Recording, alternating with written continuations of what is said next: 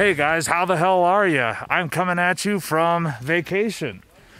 Right now, today, I am at Clingman's Dome, which we are disputing where exactly it is. It could potentially be in North Carolina, could potentially be in Tennessee, because we seem to be having an argument about it in the car. Right, guys?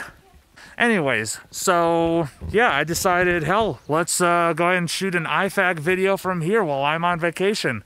So, first question Why do you get rid of the 10 string? Well, dude, it was too goddamn much. Arnold plays guitar. Have you ever played a Peavey Ultra Plus? Oh, yes, I have. Had one like 12 years ago and just picked up another one for 325 bucks. I would definitely look into getting one. Very, very underrated amp. Dude, I totally know. It was my first tube amp that I ever had. I had a half stack that was the Peavey Ultra Plus on top and then the Peavey Ultra cab on bottom I loved that amp. I wish I never would have sold it. I sold it because I needed funds for a backup instrument. And I'm sorry, let me just get this view in here. I sold it because I desperately needed a backup instrument to go on tour with at the time. And it was one of those things I deeply, deeply regretted ever since. However, I just picked up one finally. So, yep, an Ultra Plus has come back into my possession. There will be some videos coming in the very near future, especially after I get some new tubes in it. Thanks for doing these. Do you have any opinions on Abasi guitars? Yes, I do. I had a nightmare with a clothing company. Typical. On a separate matter, an IFAQ question for you, good sir. Have you noticed the difference in viewership, etc., since pandemic hit and you've been putting out more content? P.S. Huge longtime fan and subscriber. Thank you so much, good sir. I appreciate you. So, I've not really noticed a huge change in my viewership because honestly, since pandemic hit, a lot of the content I've been putting out has been IFAQ videos, as well as like like those NAM compilations that I did. So not really so much of the unbiased gear reviews like I used to do a lot of don't get me wrong, I still want that to be kind of a focus of this channel, but I've been putting out a lot more stuff like this where I'm just kind of talking to you guys, waxing eloquent about this and that, and just kind of sharing my opinions on a variety of topics, not just a certain piece of gear. And that's not necessarily something that gets a huge amount of viewership compared to the gear demos and the gear reviews. So, let's pause to enjoy the view.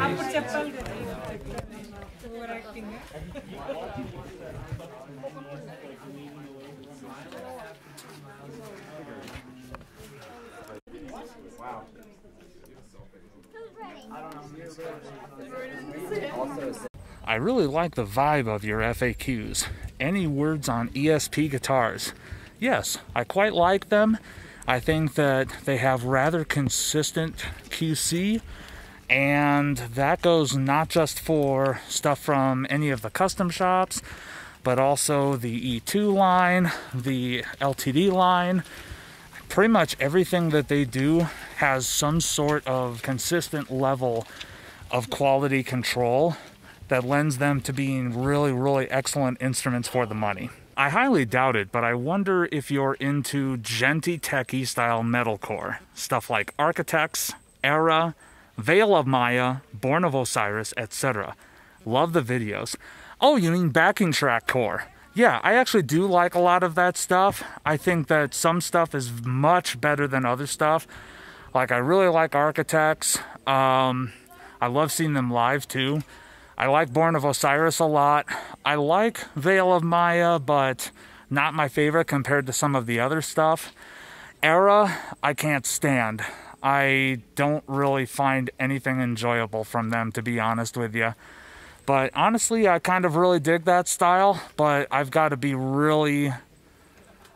Like, something really has to grab me about that particular band or a particular song or album for me to really go crazy for it. Great vid as always. IFAQ, thoughts on mainstream quote unquote sellout bands like Slipknot, Metallica, etc. So I don't really think of them as sellout bands. What I think of them as is gateway bands. It's the kind of stuff that you get into, and then all of a sudden your curiosity is piqued, and you want to check out a whole bunch of other stuff along those same lines, or maybe you want to start going down the rabbit hole a little bit. For instance, my first real, like, heavy band that I got into was Metallica. And by getting into Metallica, I then started to explore Megadeth and Slayer and Pantera and Anthrax and all those bands kind of that were of the same ilk, really, really heavy, kind of thrashy. Um, Slipknot is another great band. I mean, when that band first came out, they used to wax eloquent in various interviews about how much they're inspired by various death metal groups. So, like, you would be reading an interview with Joey Jordison, and he'd be talking about how much he loves Carcass and Malevolent Creation.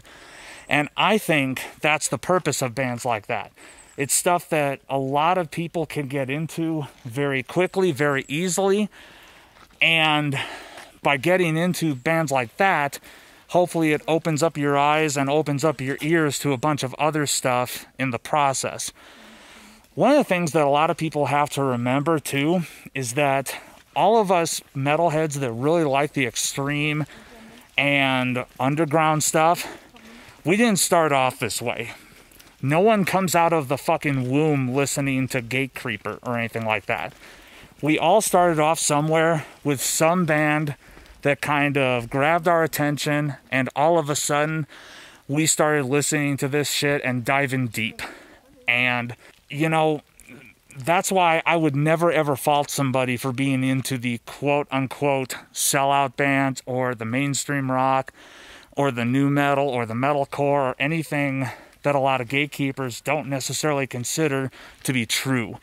It's all stuff that could lead to something else down the road. And a little bit on the same note, I got a burning IFAQ that's probably been bashed from hell and back by the pricks in guitar forums. What are your thoughts on bands like Five Finger Death Punch? While I understand a lot of their stuff can sound the same, I still think Ivan's vocals are fucking sick and would love to have a voice like his. So I do think that Ivan's vocals are sick, and that's the reason why I loved Motograter back in the day. Five Finger Death Punch is not exactly my favorite band at all because of the music they're in, but it's another gateway band. It's another one of those bands that someone can get into, and that can be the thing that is like the catalyst for them discovering a whole bunch of other stuff. So that's why I think that there's still a place for that band, even. Hey dude, what's the most you paid for a beer and was it worth it? Ooh, very good question. The most that I have paid for a beer, for a single bottle of beer, was $59.99. And that was a beer called Hommage by Three Fonteinen. I hope I'm pronouncing that right. It's a lambic, so it's a sour. It was extremely fruity, it was extremely tart but man, did it have a rich flavor to it. It was very, very good. That being said, would I say that it was worth it? Honestly, in that particular case, no. And that's because I'm not the biggest fan of sours. My wife is more of a fan of sours than I am, but even she's kind of gone past it a little bit.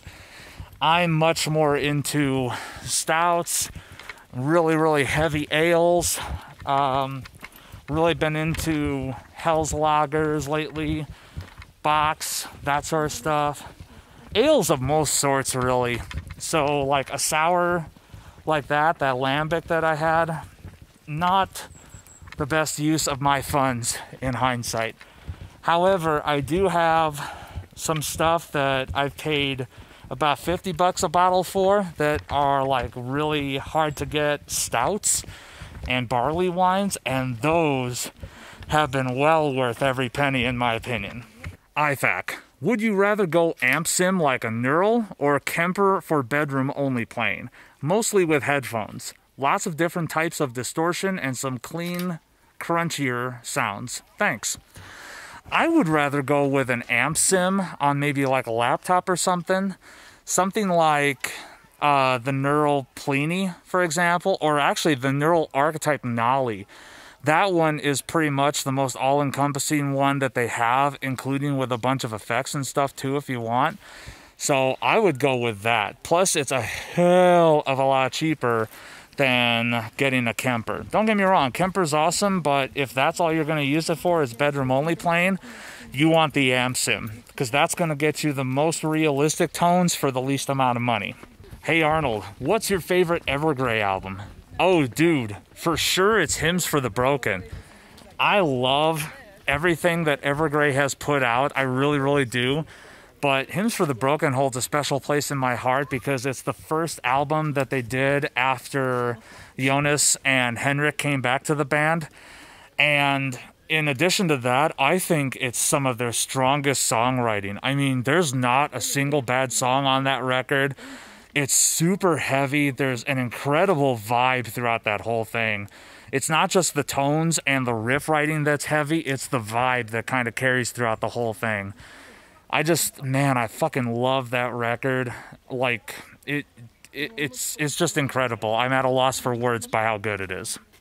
And now it's time for this week's Troll of the Week. And we are back in the car on the way back to the place where we're staying because, quite frankly, motherfucker, you don't deserve the nice views. All right.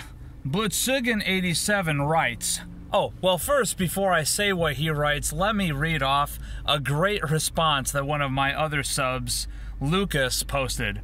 Have fun being on Troll of the Week next IFAQ. So, Blitzigen87 writes, This is like watching some fat American Ola Englund copy.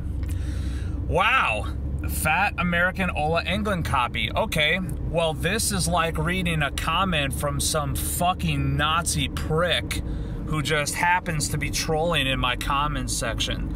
So I gotta say, man, it's uh, kind of impressive that you found just enough time to actually pop your little mushroom cap out of your sister uh, long enough to type that comment out.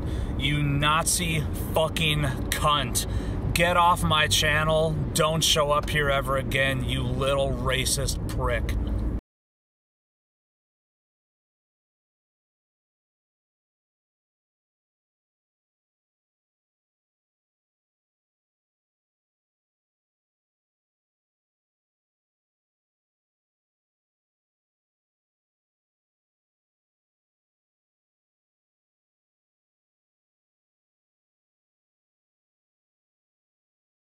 And that's it for me. Thank you guys so much for tuning in to another IFAQ video. This was kind of cool to do this while I'm uh, here on vacation and just kind of enjoying myself, getting away from it all. So thank you so much. Same bad time, same bad channel next week.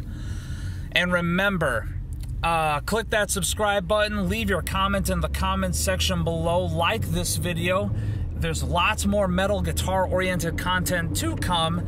And remember to please take what you do seriously, but do not take yourself seriously.